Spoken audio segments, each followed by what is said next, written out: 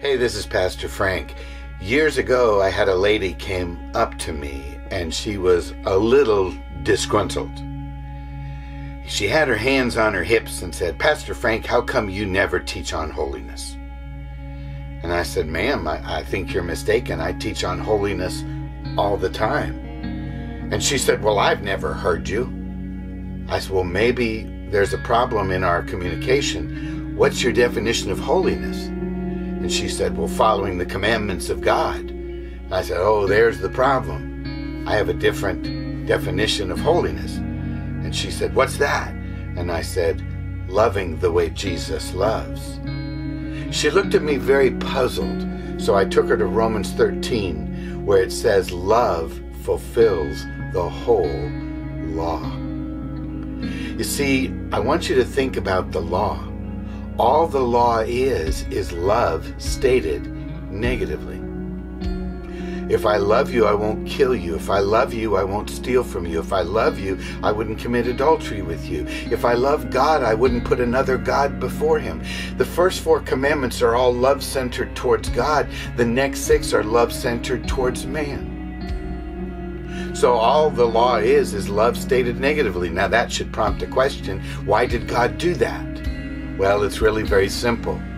Think about it. In the Garden of Eden, when man ate from the tree and sinned, who did we become separated from? We became separated from God. Now 1 John chapter 4 tells us God is love. So what we really got separated from was love. So God in an old covenant economy could not tell us to love because being separated from God, we didn't know what love was. So we had to put it in the negative. Love is not doing this. Love is not doing that. In a new covenant economy, though, we have the person of God placed back into our lives, the person of love placed back into our lives. And it's really now a very simple ethic, if you will. Love God and love people. Remember, that's what that one gentleman came to Jesus and asked about. He said, What's the greatest commandment? And Jesus said, You're mistaken, sir. There's two love God, love people.